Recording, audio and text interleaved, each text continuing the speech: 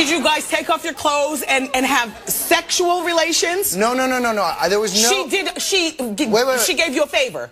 I mean, I was pretty much standing up. Okay. All right. All right. Okay. Okay. I never saw that before. He said that there were other people in the room already hooking up, and that you guys were the second couple in the room, and that. No, know- I just think he's obsessed with me and he wanted camera time and that's why he did that. Would you? Would you ever consider dating him?